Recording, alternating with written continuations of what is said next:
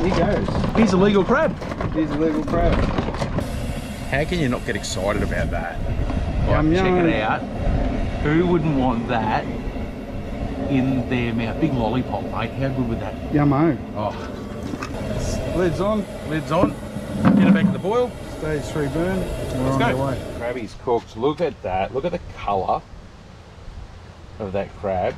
Absolutely beautiful in there. And the ice, icy water. That is one of the greatest things you will ever eat in life. Holy moly. I love mud crab so much.